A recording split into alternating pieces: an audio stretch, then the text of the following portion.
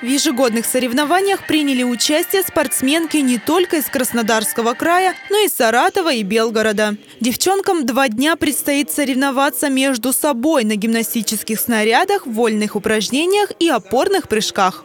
Хочется вам пожелать в этих соревнованиях, ставших традиционными, чтобы всегда вы стремились к достижению самых высоких спортивных результатов. Никогда не останавливались перед любыми трудностями. И мы верим в вас, потому что вы действительно наш золотой фонд.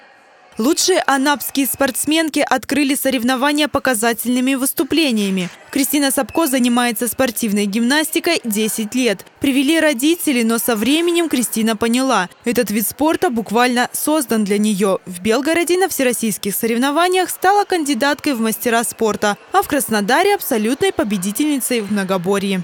Конечно, я уже много выступаю, но все равно этот мандраж, этот страх все равно не проходит.